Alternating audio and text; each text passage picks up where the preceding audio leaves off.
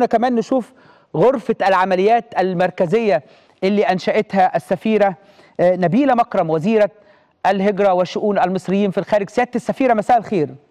مساء النور أهلا وسهلا. أظن ما حدش سعيد النهاردة قدك يعني. مصر كلها سعيدة الحقيقة يعني والمصريين في الخارج سعداء والمصريين في الداخل يعني عرس انتخابي عمرنا ما شفناه قبل كده. سيادتك أنا عارف إنك عاملة يعني زي غرفة مجمعة للعمليات ولمتابعة الأخبار على مدار الساعة إيه آخر التطورات اللي موجودة عند حضرتك؟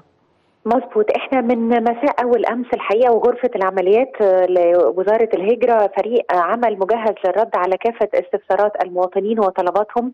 ابتدينا بأستراليا ونيوزيلندا حضرتك عارف إن هم بيبتدوا قبلينا طبقا لفرق التوقيت. وابتدينا من امبارح الصبح الجمعة. طبعا حي طبعا الجالية المصرية في الكويت وفي المملكة العربية السعودية وفي الأردن. العمالة المصرية تتصدر القائمة في التقدم لصناديق الاقتراع. مم. طبعا يوم الجمعة ويوم أجازة أسبوعية هناك والحقيقة المشهد اللي شفناه مشهد مضيء جدا جدا وكله فخر. النهارده بنتابع مع الولايات المتحدة الأمريكية وكندا وطبعا الدول الأوروبية باعتبار السبت والحد أجازة أسبوعية. الاستفسارات مش بس إن إحنا بنلقي الضوء على الصور المضيئة في الخارج ولكن بنرد على الاستفسارات والمشاكل. كل الاستفسارات إحنا عاملين أربع خطوط ساخنة للمصريين. في الخارج عاملين إيميل عاملين website عاملين أيضا رسائل على الواتساب. هذا الفريق بيجاوب كل الاستفسارات طبعا كلها بتتعلق بالضوابط العملية الانتخابية مقر اللجان الأتوبيسات بتقوم منين لفين التوقيتات كل ده بنشتغل عليه.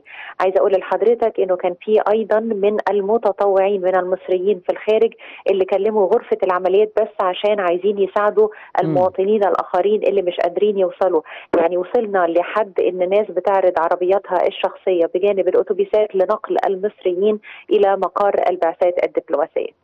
طبعا هذه الغرفة العمليات بتعمل بالتعاون مع الهيئة الوطنية للانتخابات وأيضا الهيئة العامة للاستعلانات لأن إحنا كل هذه الصور من صور وفيديوهات عايزين نوصلها للإعلام الخارجي عشان نرد على كل الرسائل السلبية اللي بتتكلم عن مصر بصورة سلبية أو بتتكلم عن المشهد السياسي والانتخابات الرئاسية بصورة سلبية.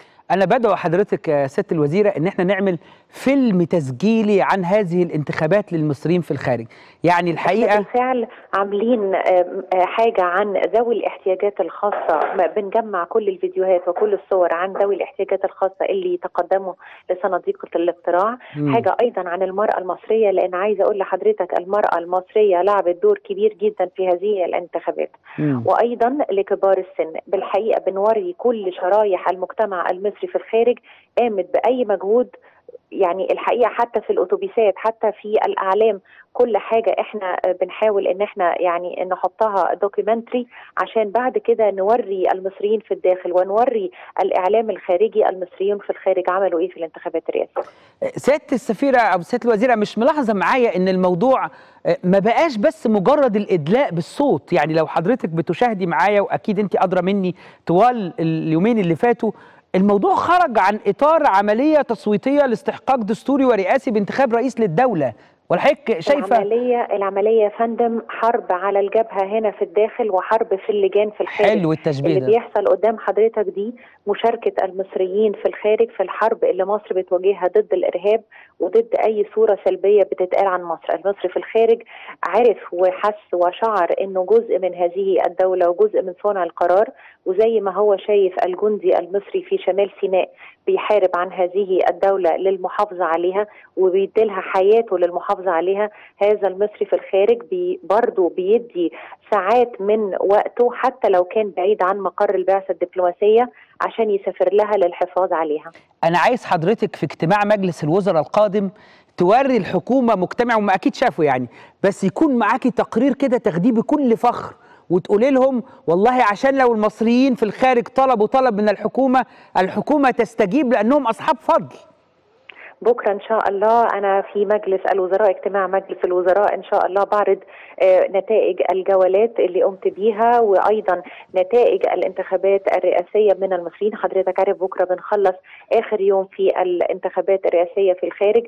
بالتأكيد فخر للحكومة المصرية فخر للمصريين في الداخل ورسالة آه، تخرس كل الألسنة اللي بتتكلم عن مصر في الخارج. بشكرك. شكرا جزيلا سيادة الوزيرة نبيلة مكرم وزيرة الهجرة وشؤون المصريين في الخارج. خالد